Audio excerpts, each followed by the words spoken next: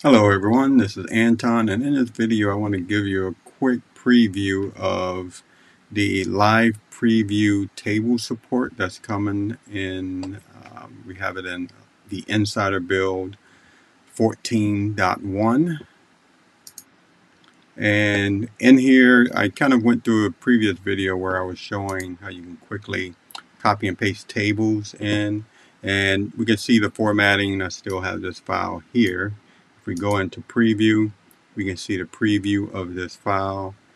And if we go outside of preview, go into edit mode, and we click somewhere else in the in this actual file, you can see that it formatted the table.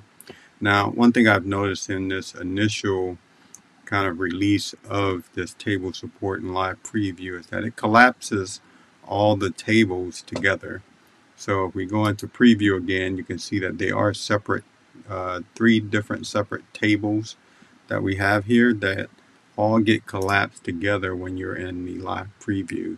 And they're also circled with this, this particular block that goes around all of them as well. So if you click in here, I've seen that if we go ahead and put three dashes in there, hit space, and we put a line break, a horizontal line in here, that the preview then removes um, that that one block that surrounds all of them.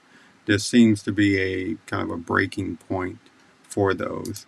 So even if I come in here, let's say I do not put in these three dots or these three dashes, and I just put text in there, hello.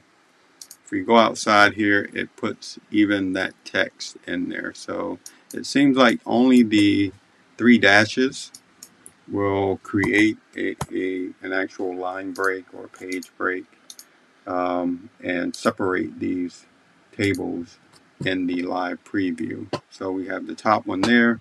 If I come down here into this next one, one, two, three, we can see that those separated as well.